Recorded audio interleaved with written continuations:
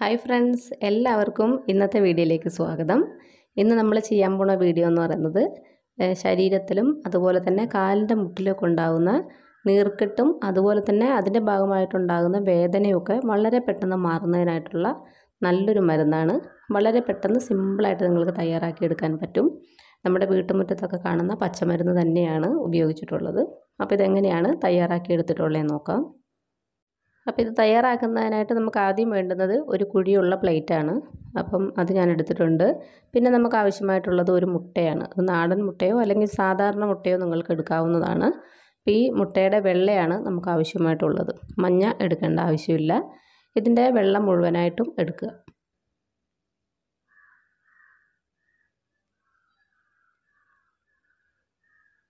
ഒരു മുട്ടയുടെ വെള്ളം മതിയാവും.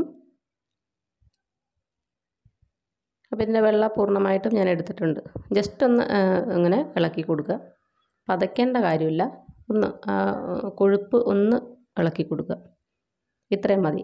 ഇനി നമുക്ക് ആവശ്യമായിട്ടുള്ളതെന്ന് പറഞ്ഞു കഴിഞ്ഞാൽ നമ്മൾ ഇതിനകത്തോട്ട് ഉപയോഗിക്കുന്നത് കമ്മ്യൂണിസ്റ്റ് പച്ച എന്ന് പറയുന്ന ഔഷധമാണ്. നിങ്ങൾക്ക് അറിയാവുന്നതായിരിക്കും. നമ്മുടെയൊക്കെ വീട്ടു പരിസരത്ത് തന്നെ കാണുന്ന ഒരു ചെടി കൂടിയാണിത്. കമ്മ്യൂണിസ്റ്റ് പച്ച എന്നാണ് പറയുന്നത്. പല സ്ഥലങ്ങളിലും പല പേരുകളൊക്കെ ആയിരിക്കും ഉണ്ടാവുക. അപ്പോൾ ഇല ഇതാണ് നിങ്ങൾ ശ്രദ്ധിച്ച് നോക്കുക. ഇതിനൊരു പ്രത്യേക തരത്തിലുള്ള സ്മെല്ലൊക്കെ ഉണ്ടാവും. നമ്മൾ കൈകൊണ്ട് അത് എടുക്കുമ്പോൾ തന്നെ നമ്മുടെ കയ്യിലൊക്കെ വാസനിച്ച് നോക്കിയാൽ നിങ്ങൾക്ക് മനസ്സിലാവും. വല്ലാത്തൊരു സ്മെല്ലാണ് ഇതിനുള്ളത് ഇതൊരു കാട് പോലെ പടർന്ന് കിടക്കുന്ന ഒരു ചെടിയാണ്. പക്ഷേ ആരും അങ്ങനെ മൈൻഡ് ചെയ്യാറില്ല. പക്ഷേ ഒരുപാട് ഔഷധ മൂല്യമുള്ള ഒരു ഔഷധമാണത്. ഇത് ഇതിന്റെ ഇലയുടെ നീരും ഒക്കെ നമ്മൾ മുറിവുള്ള സ്ഥലത്തൊക്കെ പുരട്ടി കഴിഞ്ഞിട്ടുണ്ടെങ്കിൽ വളരെ പെട്ടെന്ന് തന്നെ മുറിവ് ഉണങ്ങുകയും അതുപോലെ തന്നെ നീരൊക്കെ ഉണ്ടെങ്കിൽ പെട്ടെന്ന് തന്നെ വലിഞ്ഞു പോവുകയും ചെയ്യും. അപ്പോൾ നമ്മളിത് എന്താ ചെയ്യേണ്ടതെന്ന് വെച്ചാൽ ജസ്റ്റ് ഒന്ന് കഴുകുക. വെള്ളം ചേർക്കാതെ ഇത് അരച്ചെടുക്കണം. അരച്ചെടുക്കുക എന്ന് പറഞ്ഞാൽ പേസ്റ്റ് പോലെ അരയേണ്ട ആവശ്യമില്ല. നമുക്ക് ജസ്റ്റ് ഒന്നിങ്ങനെ ഒരു ചതഞ്ഞ രീതിക്ക് ഈ കാണുന്നത് പോലെ കിട്ടിയാൽ മതി. പേസ്റ്റ് പോലെ അരയേണ്ട. അപ്പോൾ അതൊരു ഭയങ്കര കൊഴുപ്പ് പോലെയാണ് ഇത് ഉണ്ടാവുക. ഈ ഒരു പരുവത്തിന് ഇരുന്നാൽ മതിയാവും. ഇപ്പോൾ ഇനി നമ്മൾ എന്ത് ചെയ്യണം എന്ന് വെച്ചാൽ നമ്മൾ ആദ്യം മുട്ടയുടെ വെള്ള എടുത്ത് വെച്ചിട്ടുണ്ടല്ലോ. അതിനകത്തോട്ട് ഇപ്പോൾ നമ്മൾ ഈ സ്ക്രഷ് ചെയ്ത് വെച്ചേക്കുന്ന കമ്മ്യൂണിസ്റ്റ് പച്ചയുടെ ഇല അങ്ങോട്ട് എടുക്കുക. അതിനകത്തോട്ട് ഇട്ട് കൊടുക്കുക. പേസ്റ്റ് പോലെ ആരെങ്കിലും അരച്ചിട്ടുണ്ടെങ്കിലും കുഴപ്പമൊന്നുമില്ല. ഇത് തേക്കാനുള്ള ഒരു എളുപ്പത്തിലാണ് ഈ പറയുന്നത്. മുട്ടയുടെ വെള്ളയുമായിട്ട് കൂടി ചേരുമ്പോൾ പേസ്റ്റ് പോലെ അരഞ്ഞിട്ടുണ്ടെങ്കിൽ മൊത്തത്തിൽ ഇതൊരു വെള്ളം പോലെ ആയിപ്പോവും അതുകൊണ്ടാണ് ഈ ഒരു പാകത്തിന് ചെയ്യാൻ വേണ്ടി പറയുന്നത്.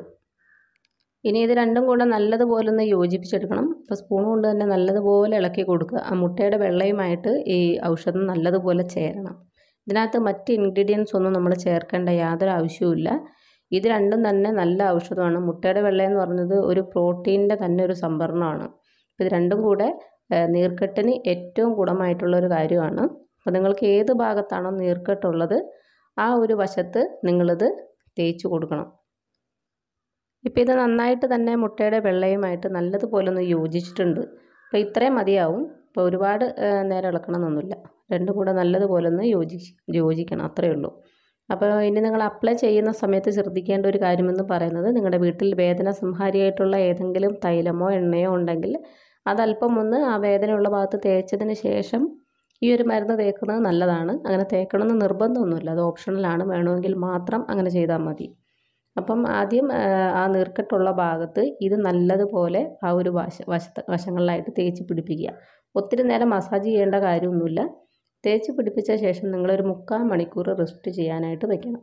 അത്രയും സമയം നിർബന്ധമാണ്. എങ്കിൽ മാത്രമേ ഇതൊന്ന് നമ്മുടെ ആ ഒരു നീർക്കെട്ടുള്ള വശത്തേക്ക് ഒന്ന് പിടിച്ചു വരികയുള്ളൂ. അപ്പോൾ ഇങ്ങനെ മുക്കാൽ മണിക്കൂർ റെസ്റ്റ് ചെയ്ത ശേഷം നിങ്ങൾക്ക് പിന്നീട് ഇളം ചൂടുവെള്ളം ഉപയോഗിച്ചുകൊണ്ട് ഇത് കഴുകിക്കളയാവുന്നതാണ്.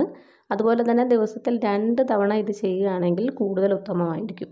അത് ഊരയുടെ ഭാഗത്തും കാലിന്റെ മുട്ടിന്റെ വശത്തുമൊക്കെ നീർക്കെട്ടുള്ളവർക്ക് ഇത് കൂടുതലായിട്ട് ഉപകാരം ചെയ്യും. അപ്പോൾ തീർച്ചയായിട്ടും അത്തരത്തിൽ ആ ഒരു ഭാഗങ്ങളിലൊക്കെ വേദന ഉള്ളവർ ഈ ഒരു മരുന്നൊന്ന് ട്രൈ ചെയ്ത് നോക്കുക. എന്നിട്ട് നിങ്ങളുടെ അഭിപ്രായങ്ങളൊന്നും അറിയിക്കാനായിട്ട് മറക്കരുത്.